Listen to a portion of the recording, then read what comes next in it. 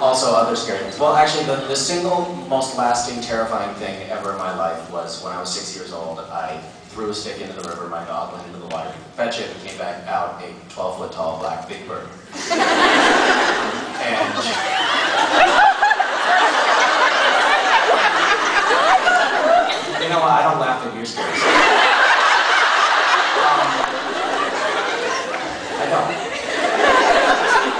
Um, later on in life, I was uh, five or six at the time. Later on, I figured out that it was a dream, but it was many years later. and so it plagued me for a long time. I, I think I was in third or fourth grade when I figured out, wait a minute. That scary thing didn't really happen to you. Relax. And I, that may have been the same year that the whole Santa Buzz, and these all children,